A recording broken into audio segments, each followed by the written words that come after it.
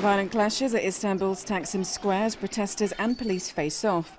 Two weeks ago, it started out as a small demo by secularists and conservationists over plans to redevelop Gezi Park, mushroomed into a countrywide protest. Thousands have been injured in the violence. Global condemnation of police brutality and disregard of basic human rights also saw protests outside parliament.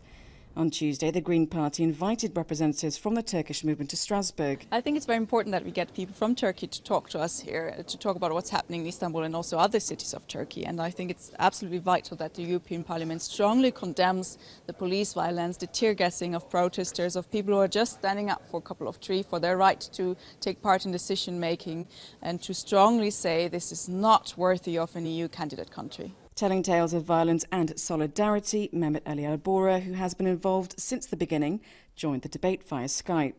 After the usage of violence against pe peaceful people, the matter also became to protest the violence against freedom of expression.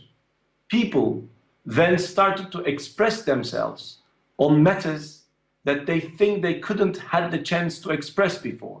At the plenary, MEPs debated the situation in Turkey with Catherine Ashton, the High Representative for the Union for Foreign Affairs and Security Policy, passing a resolution condemning the excessive use of force by police. Back in Turkey, in an effort to placate protesters, the AK party said it would consider a referendum on the redevelopment of Gezi Park. But will that be enough?